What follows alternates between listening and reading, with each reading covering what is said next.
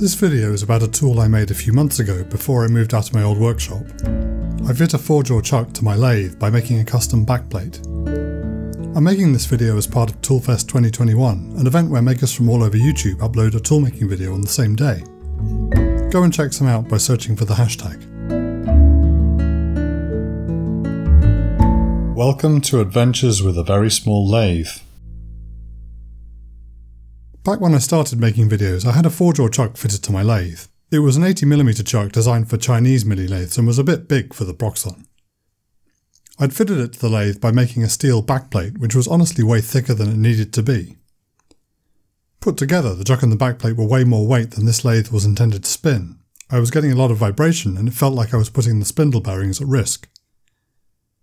After digging through tool sellers over a couple of years, I eventually came across a low profile 80mm chuck that looked more suitable.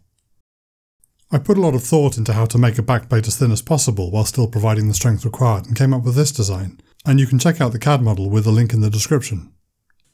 I'm going to make the backplate from a slice of this 42CrMo4 alloy steel, a similar grade to 4140. This is a large diameter of round stock for me to be working with, and the tooth count of the bandsaw blade is probably a bit fine.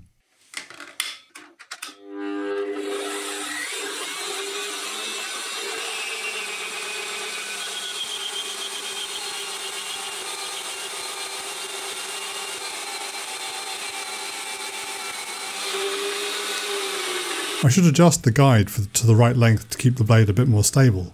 Extra unsupported blade length can flex and drift, reducing the accuracy of the cut.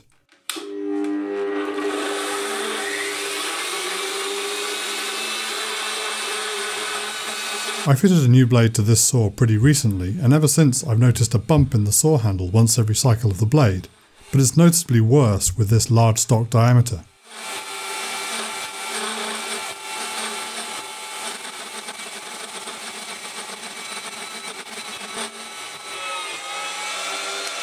The blade has jumped off its drive wheels, so I have to remove the blade cover to reseat it. I'll take the opportunity to check out the blade.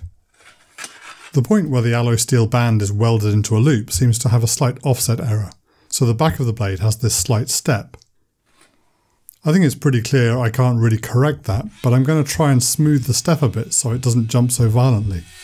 A small Dremel style grinding wheel has no problem smoothing the step, and I tried to make the back edge as fair as possible. A bench stone polishes the edge a little and also makes sure there are no burrs left which might snag or wear the saw wheels.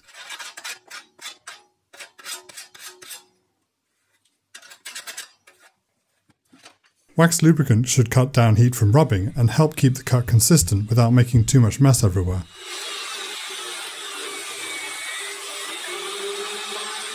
The saw is obviously still bumping every cycle, but it doesn't feel as sharp through the handle. This is going to be a really long cut as the diameter is huge for this saw and the material is also pretty tough. I try to carefully apply the right amount of force to keep the cut moving without enough resistance to slow the motor down too much. The blade jumping off is still a risk and it happens again before too long, but I didn't bother to film refitting it again.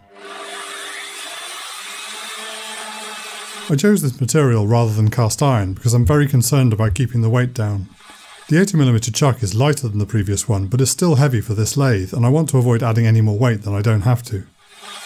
42CrMo4 is very strong, much stronger than cast iron, and should allow me to keep the plate quite a bit thinner than it would be in cast iron. To turn this slice into a backplate, I need to face both sides parallel and cut a through hole in the middle. I'll then cut a pocket in one side to register on the lathe spindle and a shoulder on the other side to register the chuck.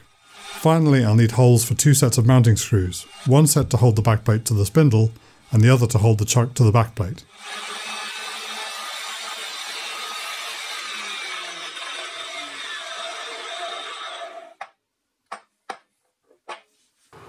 The stock Proxxon chuck is 75mm in diameter, and this 80mm round bar is the very limit of what I can safely hold with the outside jaws. I checked the amount of engagement of the jaws with the scroll at that distance, the fewer teeth each jaw has engaged with the scroll, the easier it is to break the scroll or the jaw by over tightening the chuck. The cross slide doesn't have enough travel to fully cover the 80mm diameter, and a regular right-handed tool on the left side of the tool post won't reach the edge. The solution is a left-handed tool on the back of the tool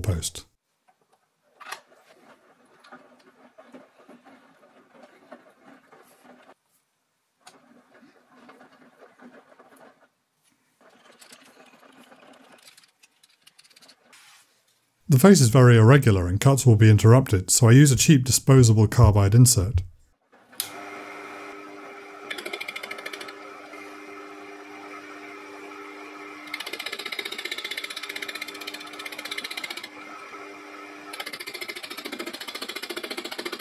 The torque required to overcome cutting forces at the maximum diameter is high, so passes will have to be very shallow to avoid overloading the lathe.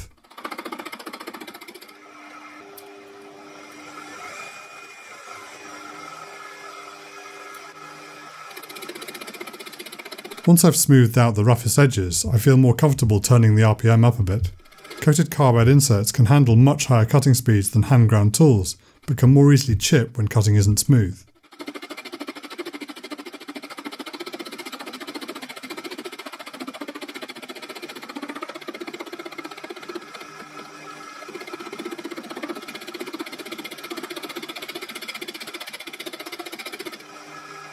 Cuts start to feel smoother as the roughness is reduced, but as engagement increases there's more drag on the motor and it comes close to stalling.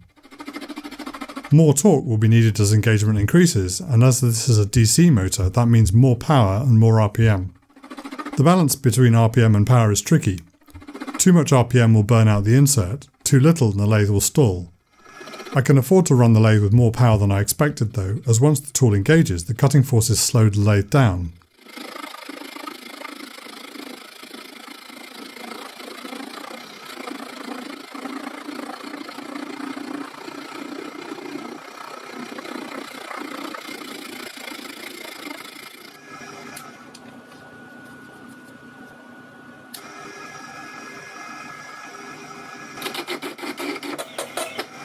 The lathe drive belts are getting old and they may be slipping more than they should.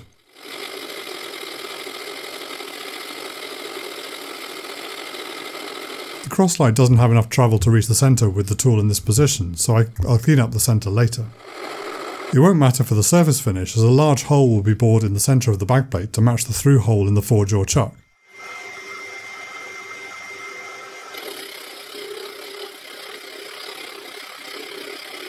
Engagement of the cutting tool with the face is more than half of the circumference, but I think there's more rubbing than there should be near the centre, and I think the tool may be above the correct height.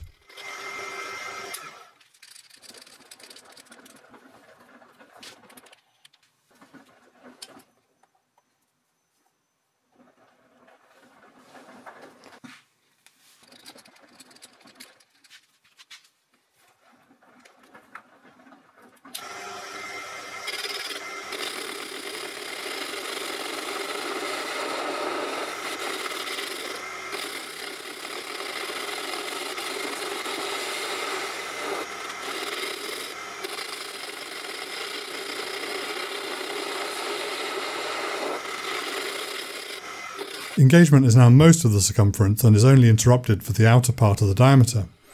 Drag is getting very high and more power is required.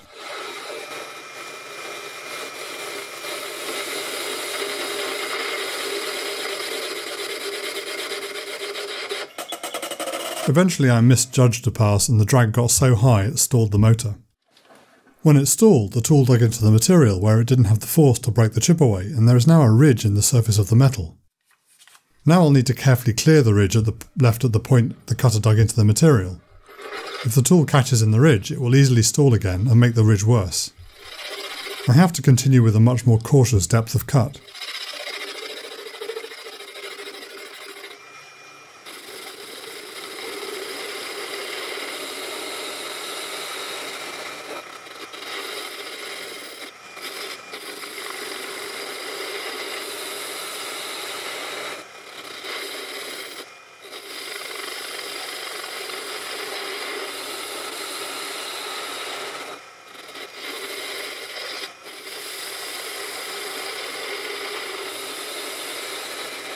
Engagement is now the entire circumference, which is all that's required for this face.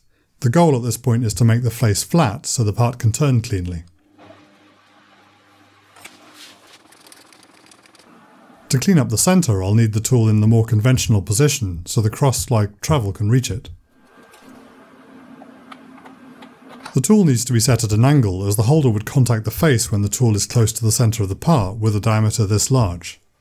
I could have done this by rotating the tool post slightly, but I've gotten into the habit of always setting the tool post square, as it can save a lot of time aligning tools. The small circle forming at the centre of the part shows me that the tool is set too low and needs to be raised on centre.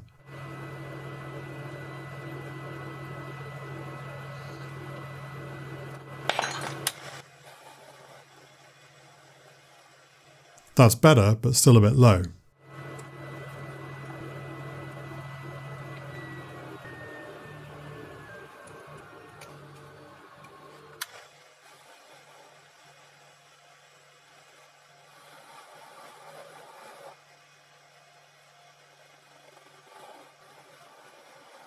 It should be really clear to any experienced machinist what the problem is now, but my view wasn't nearly as good as you get through the camera lens, and I didn't notice. I became convinced the insert wasn't cutting properly because it was worn out, so I stopped to check. The insert point looked worn, so I flipped it around to use a new cutting edge.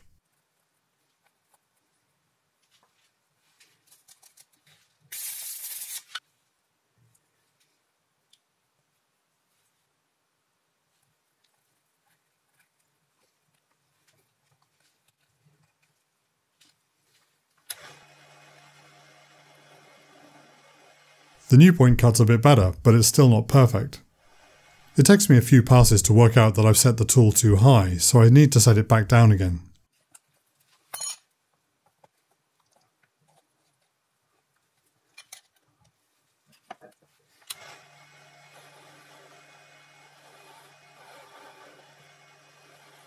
Finally, that seems to be cutting right.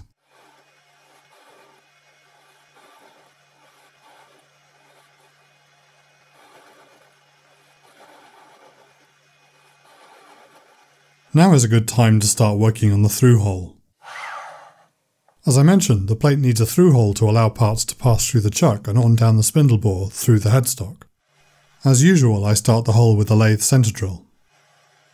The chuck has a 20mm through hole diameter, and to match that I'll need to drill then bore it out, as this lathe won't be able to cut with a twist drill nearly that large.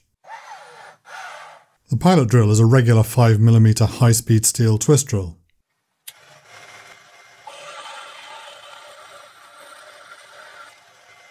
The chuck through hole is quite a bit larger than the spindle bore, but the mounting pole pattern is wide enough to allow for the backplate to match the chuck, which will be useful for getting the most flexibility out of the setup.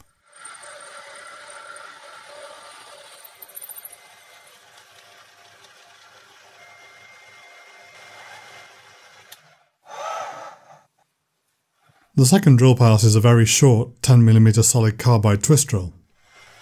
Solid carbide can cut at higher speeds than high-speed steel, but it needs to be used with, with caution as it's very easy to break the cutting edge by shocking it.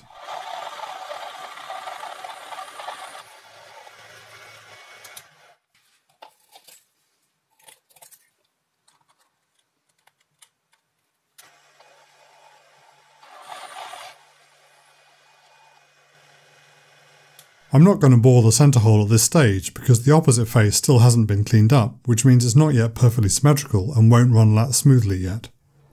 Most of the part is still very rough, which means the weight distribution won't be perfectly symmetrical. Off-centre weight causes vibrations which make it impossible to get a good surface finish or a decent precision on a small light lathe, so the priority is to clean up most of the geometry before I start on the precise machining. The second face is much closer to true already. When I cut the first face, this face was pressed firmly against the flat surfaces of the jaws, so I just have to clean up the unevenness from the saw blade. It takes a few passes, but this time I have the advantage of already knowing what speed and depth of cut to use to avoid stalling the lathe.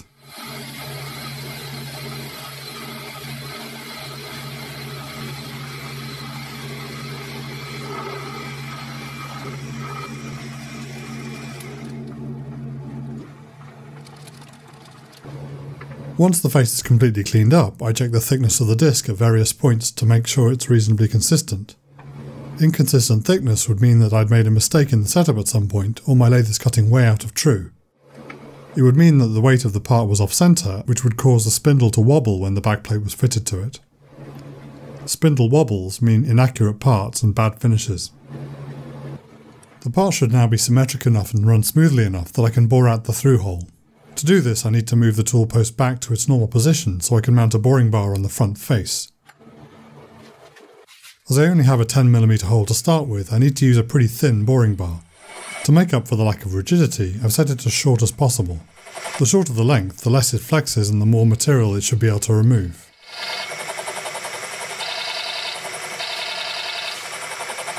That scraping noise is a problem.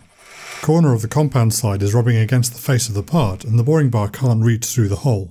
This is a problem that would never happen when machining parts with a more normal part diameter for this lathe, but for this job I'll need to set the boring bar longer than I'd like to make sure there's clearance.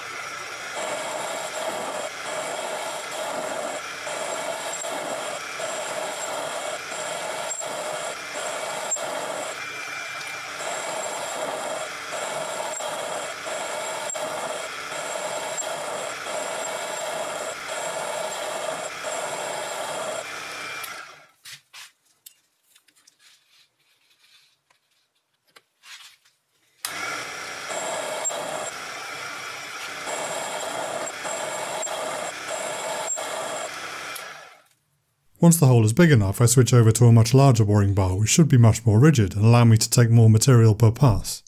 It should also give me a much better finish, which will be important for the last pass.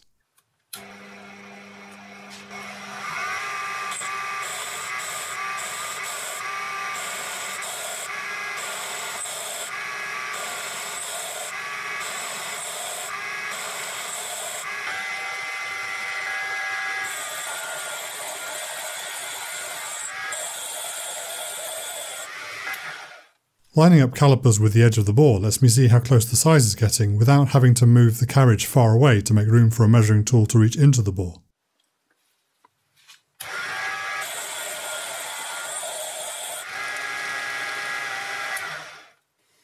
Once I'm close to the chuck bore size, I check with a cheap my inside mic. It's not an especially accurate instrument, but it's much easier to use on inside diameters than the digital calipers.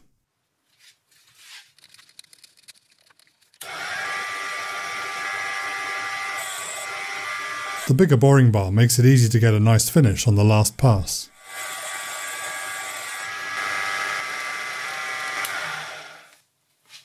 Now I need to bore a 40mm diameter pocket to act as a register for the lathe spindle.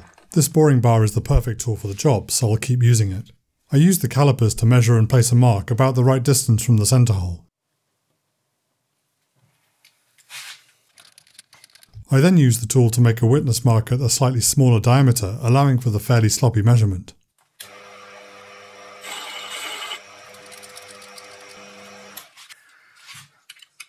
I can then check the diameter to make sure I don't overshoot 40mm. I'll machine the pocket a millimetre or so undersized, then carefully bring it out to final dimension once it's been cut to the right depth.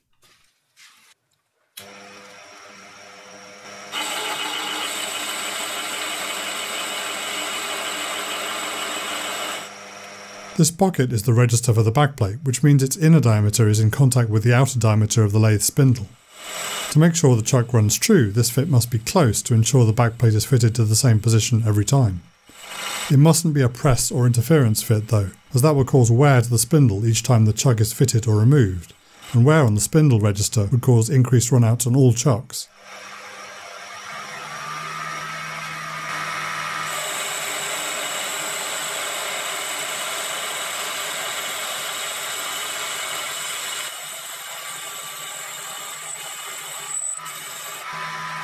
The pocket has to be fairly deep as the spindle has a fairly large chamfer on its front edge, so the depth must be decent amount larger than this chamfer.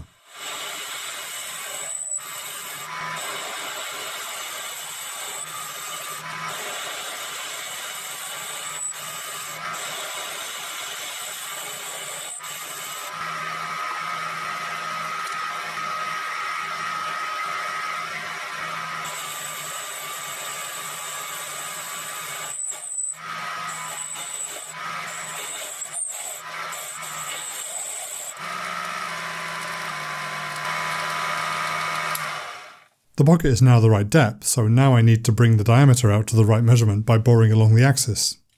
I machined it smaller than the required diameter to start with because it's much more difficult to machine a pocket like this to the correct diameter and depth in the same sequence of operations, and it's very hard to get a good finish on the back face and the inner diameter face at the same time.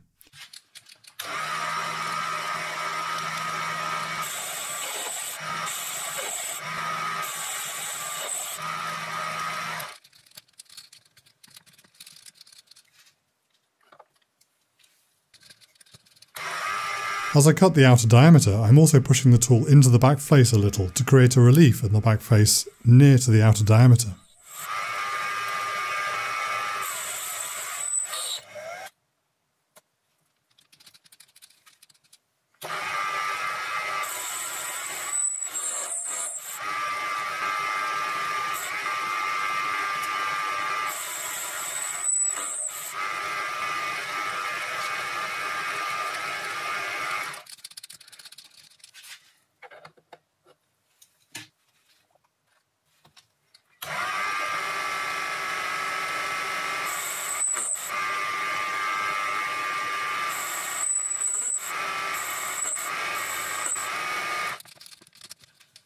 Once the diameter is correct, the final fit check is with the Proxxon dividing head, which has the same geometry as the lathe spindle, so should be good to verify the correct fit. These inner corners are pretty sharp, so I'm taking the corners off with a deburring tool to make it safe.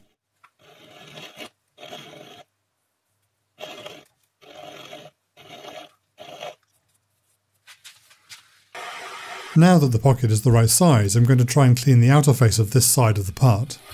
The face had a lot of fine tear marks, which are often caused by running carbide insert tooling with speeds and feeds other than what they're spec for. Inserts are generally spec for commercial CNC machines, which can do feeds and speeds that a small hobby lathe can't dream of.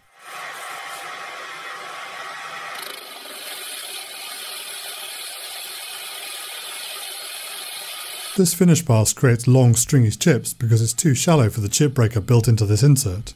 It's one of the downsides of using insert tooling on a small light lathe and it makes me want to learn to use other types of tooling to see if I can get better finishes more easily.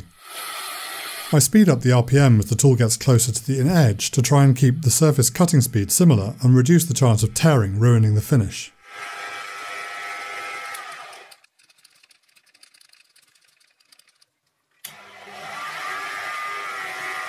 Finally I used a rubberized silicon carbide abrasive stick to improve the finish. It's a really easy way to improve the look of turned steel, but the better the original finish, the better it works. It won't save you if your finish is bad to start with. It leaves behind an abrasive residue which is best wiped away and should be kept off the ways of the lathe at all costs. For the rest of the lathe work I want to mount the backplate directly onto the spindle, so the chuck has to come off, but not just to make room. I'm going to use the chuck as part of a simple easy setup to drill the round hole pattern I need to secure the backplate to the spindle.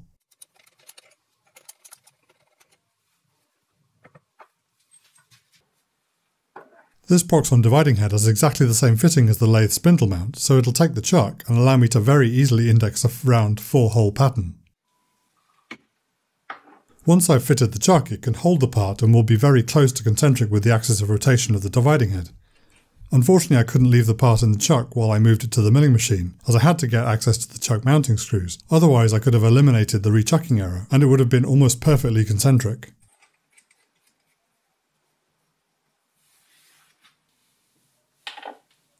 To start with, I need to align the axis of rotation with the drill spindle. I can do this alignment very simply with this trick I've shown before using the, sh the shank of a broken carbide end mill in the drill chuck. With the dividing head loose on the table, I tighten the lathe chuck drawers around the same shank, which pulls the chuck and the dividing head into axial alignment with the drill chuck. With the two chucks aligned, I can now fix the dividing head down to the cross table and it stays aligned. I now remove the carbide shank and can set up the next set of operations knowing the spindle is aligned with the centre of the lathe chuck and I can reference all positions from this point. I put the back plate in the chuck so I can drill a circle of four holes at 90 degrees for screws that will secure it to the spindle.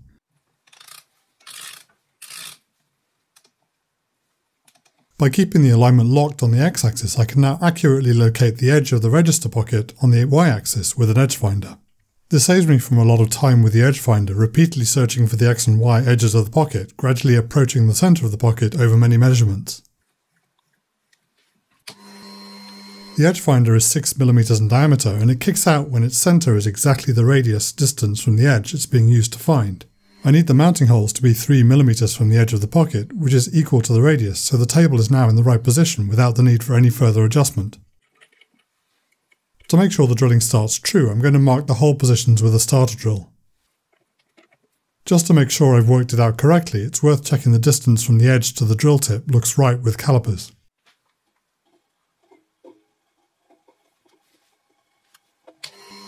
I peck with the starter drill to avoid any significant pressure to try and ensure the accuracy of the holes.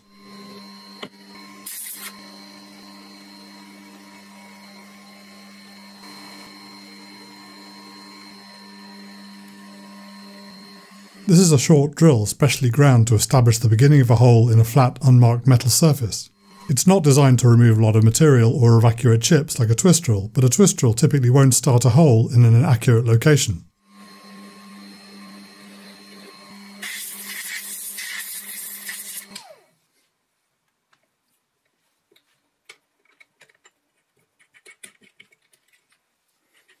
The through holes are drilled with a very ordinary high-speed steel twist drill.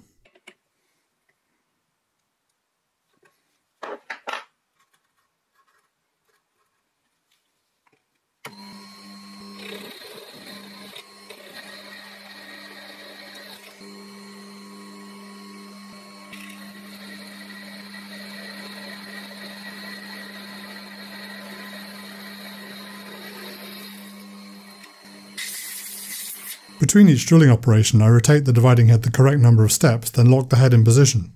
The force through the drill should be mostly straight down, but it's best to make sure the part is secure so it can't rotate.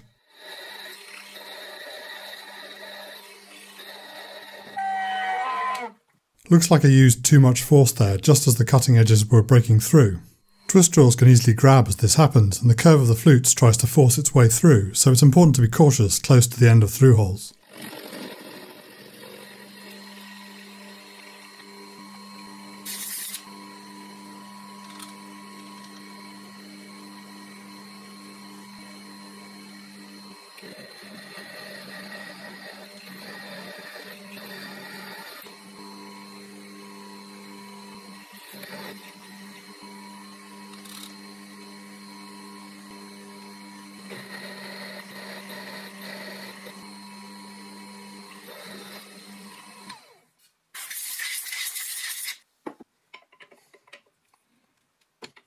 I'm going to use countersunk screws to fasten the backplate, so I need to turn the part over and cut a countersink on the other side.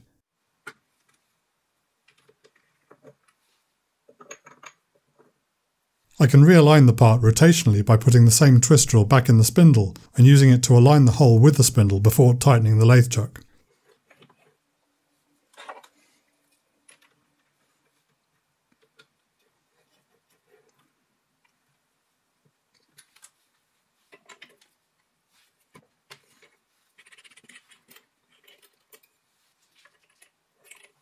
This isn't a very good countersink drill, but it's one of fairly few that drill a countersink large enough for this size of screw and still fit into the small chuck I can fit into this tiny milling machine. I chose countersink screws because they allow me to keep the screws below the face of the part without having to remove too much material. I'm hoping this means I can get the strength I need with the smallest possible backplate thickness and keep the weight as low as possible. I need to remember to bolt my milling machine down even before simple drilling jobs.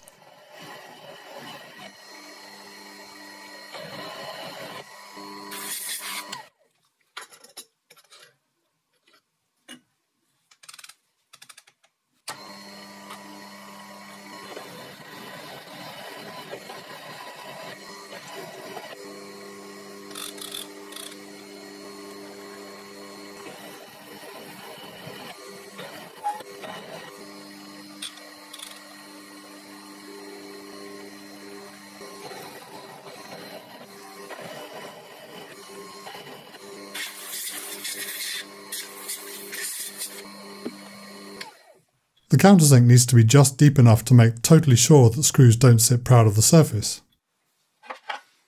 The backplate can now go back to the lathe, but this time without the chuck.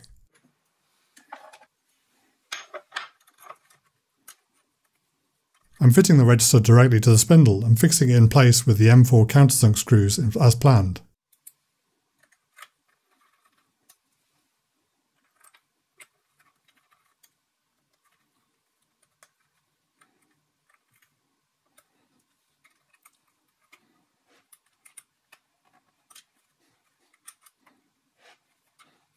To make sure the backplate can be repeatedly installed the same way round, I put a mark on the inner diameter aligned with the screw hole in the spindle directly between two holes.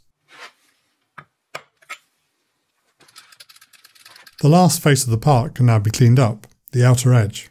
On a larger lathe I would take a heavy first cut and try and cut straight through the hard black scale to avoid wear on the tool. On this small light lathe that just isn't possible, so the scale has to be scraped away in several passes. Cleaning up the edge should remove the last source of asymmetry and ensure the backplate rotates with the lowest possible wobble or vibration.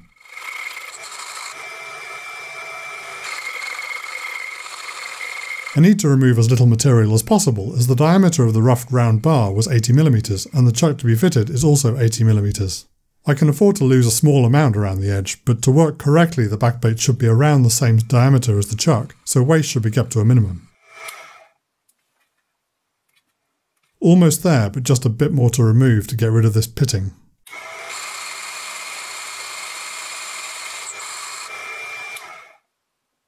The pitting is gone, but I'm hoping I can do better than that for the finish. The final pass is very shallow and I keep the feed as steady as possible. Finally I make sure to move the tool away from the surface before running it back.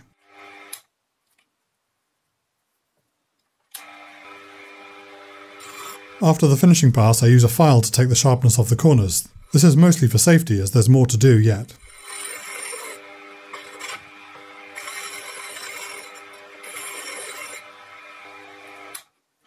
The final turn feature is the register for the back of the chuck. As the lathe tool doesn't need to be as long for this, I'm pulling it back to the shortest length possible for the best rigidity.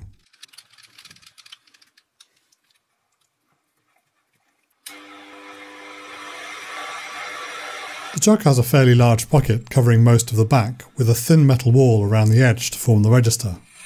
To locate this register reliably, I need to take a few millimetres off the back plate diameter and only need to go a few millimetres deep.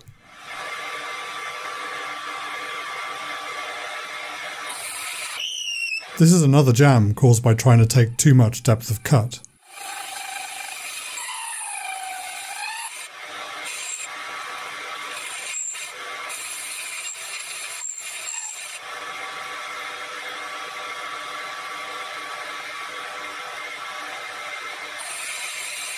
As before, I'm stopping short of the final diameter while I establish the right depth.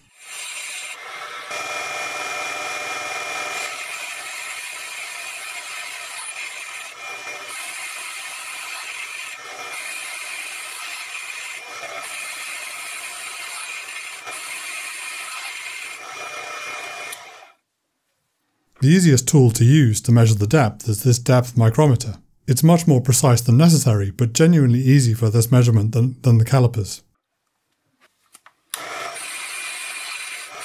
The depth of this register has to be slightly smaller than the depth of the pocket in the chuck, as I want to make sure it only makes contact on the outer rim.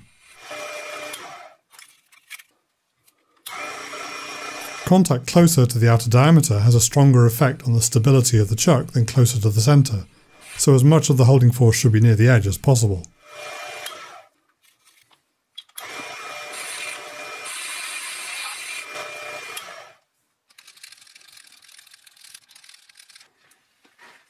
Have to use calipers for the register diameter because I don't have a micrometer this size.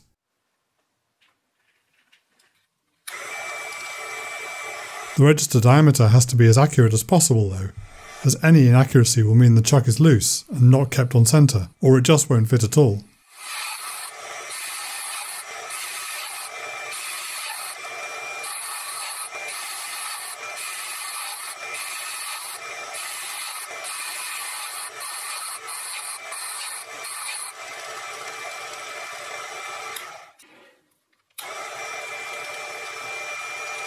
Creeping up on the precise diameter with insert tooling is tricky and should be avoided if possible.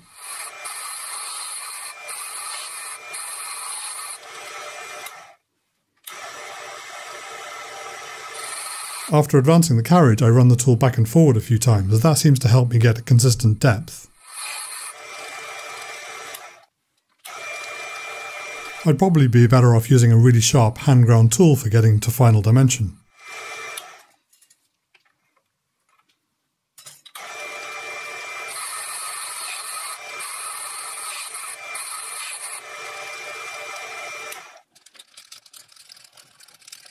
Once the diameter measure's correct, I try the chuck on. It fits, but it's tricky to align.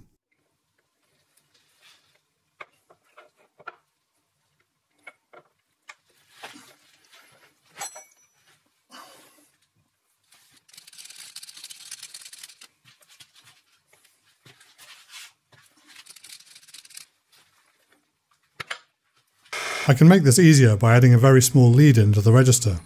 This band with a smaller diameter fits easily into the chuck and allows the chuck to be brought into alignment before slipping onto the snugger fit of the main part of the register. All the exposed corners are now finished, so it's important to knock the sharpness off them with a file.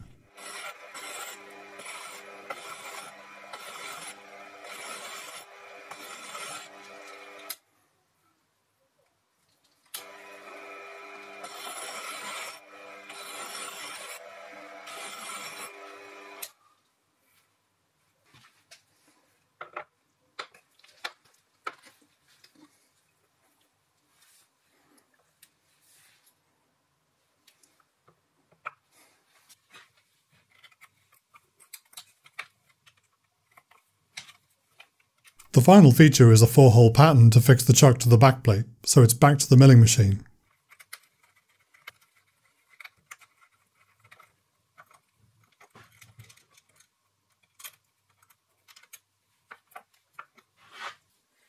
This time no chuck is required and I can mount the backplate straight onto the dividing head.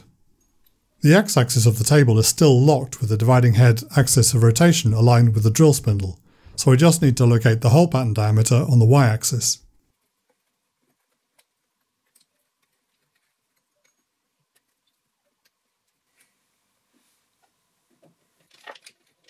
I know the distance of the hole pattern from the outer diameter of the 80mm chuck body, so I find the outer diameter of the backplate with an edge finder.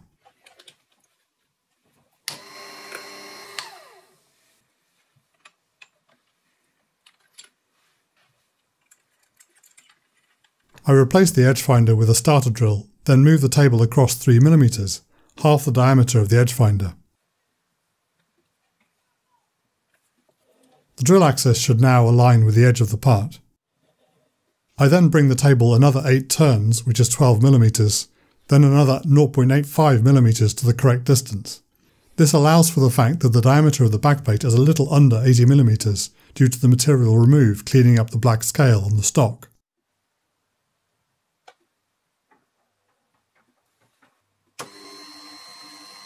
The angle of the hole pattern from the first hole circle is about halfway between the existing holes, but I made no effort to make it exact as it just doesn't matter.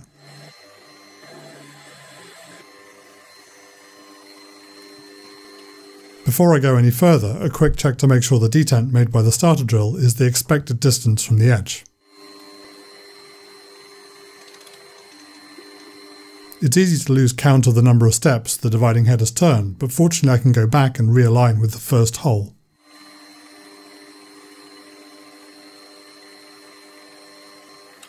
When I use a starter drill on unmarked steel with this light milling machine, it's important not to apply too much pressure as any flexing in the column will cause the marked position to be inaccurate.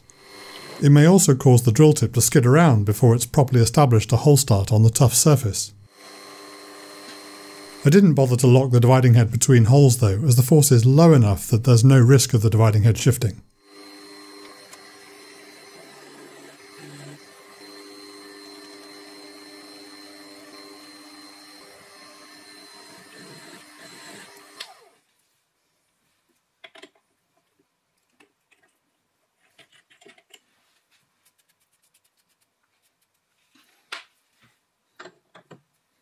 A quick check with the chuck to verify that the marked points align with the screw holes. Once the holes are marked, there's a challenge. The column and quill travel are not perfectly parallel to each other and neither are very square to the bed. When I raise the column to fit the longer tap drill, the point of the drill will no longer be perfectly aligned with the hole.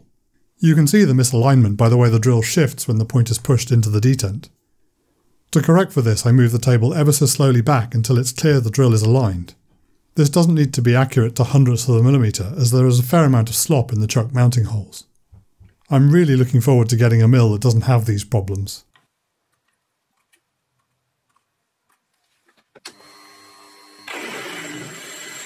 Thinking back while I'm editing this footage, I think I should have used a pilot drill first. It's easy enough to drill straight into the material with an M8 tap drill, but it probably caused the twist drill to cut a little oversize, which is less of a risk if there's a pilot hole.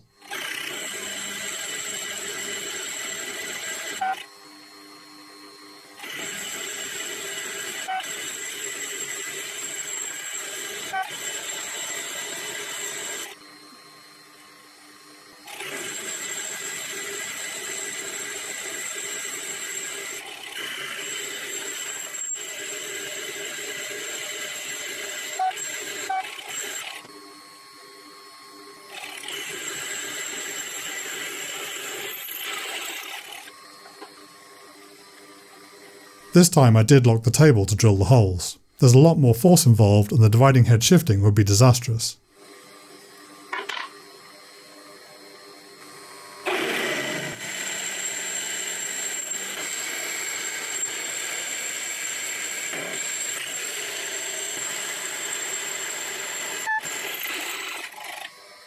I added cutting oil frequently for every hole as it seems to help the twist drill cut more cleanly but I removed some of the repetition in the editing or this would take forever.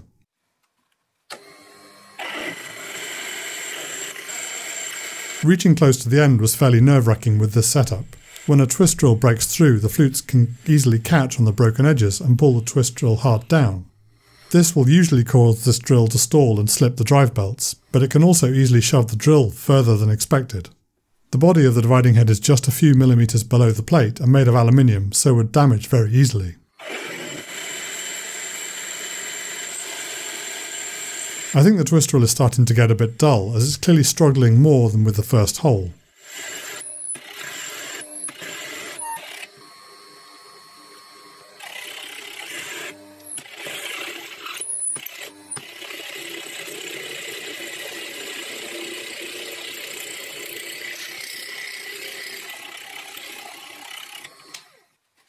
These holes now need to be tapped for the standard M8 thread to accept the chuck fixing screws.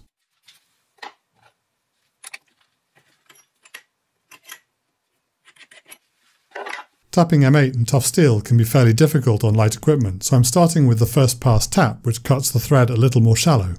This first pass is critical for making sure the thread is straight, so I use my shop-made tapping guide in the drill chuck to keep it straight. I made the tap follower back in the first year I had this YouTube channel, so you can go back and see how it was put together in the video at the top right now.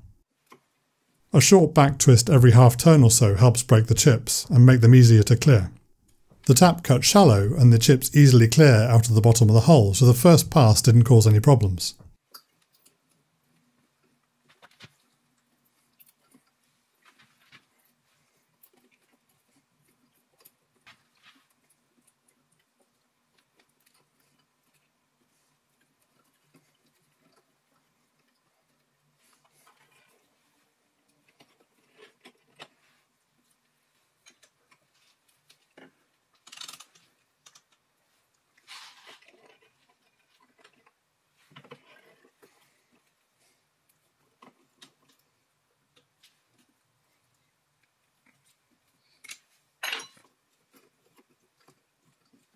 All four holes were exactly the same, so I'm not going to include video of the other two.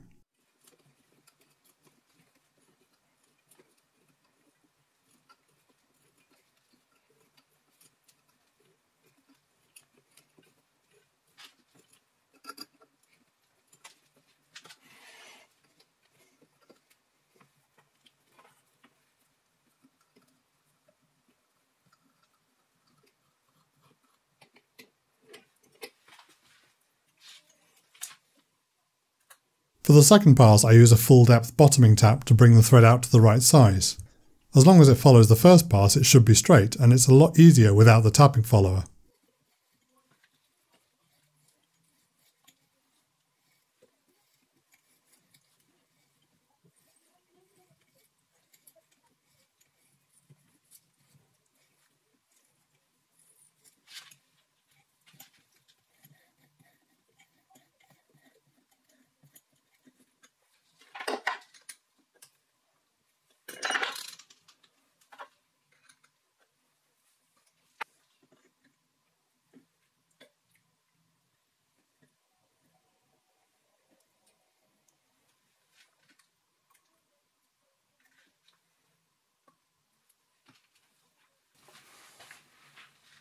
To get rid of the burrs around the tapped holes I use a countersink bit again to add a slight chamfer.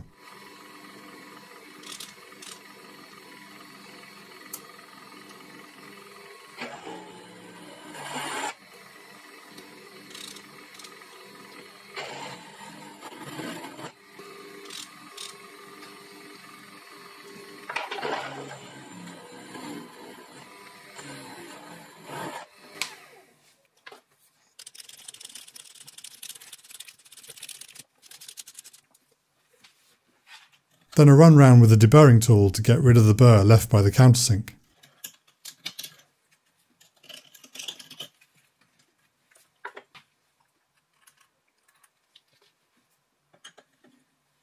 I run the tap through one last time to fix the damage to the thread at the top.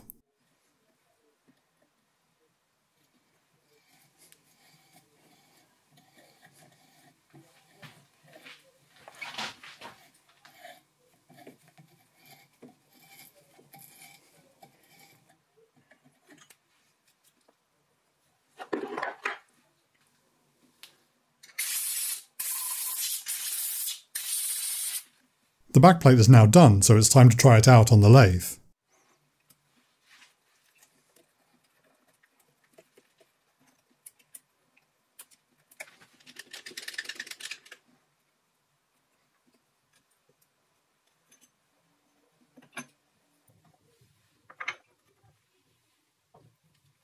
Countersunk head screws are a little more fiddly to fit than cap head screws, but should be worth it as they've allowed me to make the plate quite a bit thinner.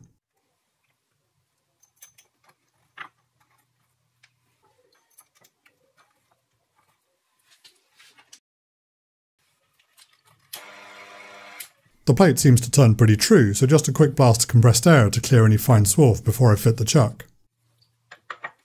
It's almost snug enough to stay in place by itself, which I think is about the right fit.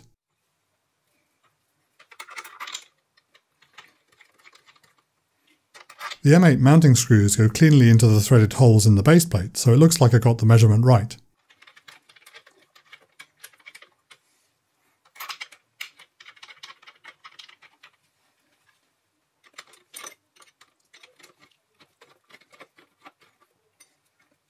The downside of using a third-party chuck on this kind of spindle is having to deal with two sets of screws every time the chuck is added or removed.